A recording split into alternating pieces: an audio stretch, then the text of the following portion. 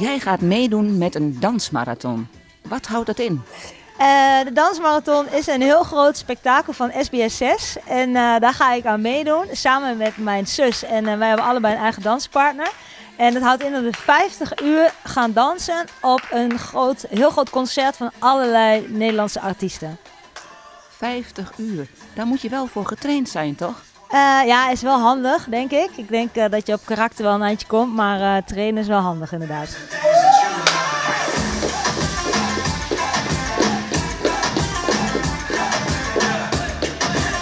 Sanne, jij gaat ook meedoen aan die dansmarathon. Ja. En uh, jullie zijn zussen, maar ik denk dat jullie dan ook concurrenten zijn, of niet? Ja, we zijn uh, grote rivalen van elkaar nu op dit moment. maar allebei wel in training? Ja, ja, en we trainen ook wel samen, dat doen we ook. En hoe... Ja, daar moet wel even een uh, professionele trainer bij komen. Hebben jullie die? Ja, ja, we hebben in ieder geval van vele kanten heel veel hulp gevraagd. Uh, waar onder andere een, uh, uh, ja, een trainer, Daan Schouten, die ons goed helpt en begeleidt in de training voor de dansmarathon. Juist. En ja, die partner, hoe ben je daaraan gekomen? Nou, mijn partner is een goede vriend van mij uit Curaçao. Ik heb daar drie jaar gewoond. En wij waren hele dikke maatjes tijdens het uitgaan op de dansvloer. En op het moment dat ik hoorde dat ik mee kon doen aan de dansmarathon, was hij de enige aan wie ik dacht. Dus wij gaan samen dansen en shinen op de dansmarathon.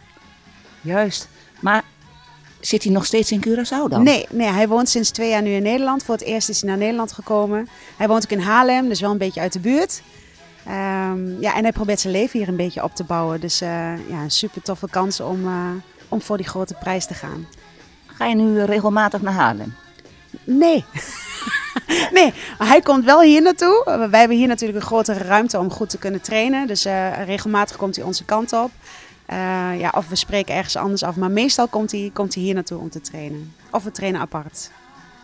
Dus je bent uh, er heel druk mee bezig momenteel? Elke dag. Elke ja. dag. Hoe denk je dat 50 uur vol te houden? Dat denk ik niet. Ik weet het niet. ik, ik denk, ja, niemand heeft het ooit nog gedaan, 50 uur dansen. Of in ieder geval, ik heb het nog nooit gedaan, 50 uur dansen. Dus ik weet niet zo goed uh, hoe we ons erop moeten voorbereiden of waar, wat we kunnen verwachten. Dus we proberen gewoon alles uit ons lichaam te halen, uit voeding en uit gezondheid en gewoon goed trainen. En dan maar proberen om, uh, om zo ver mogelijk te komen.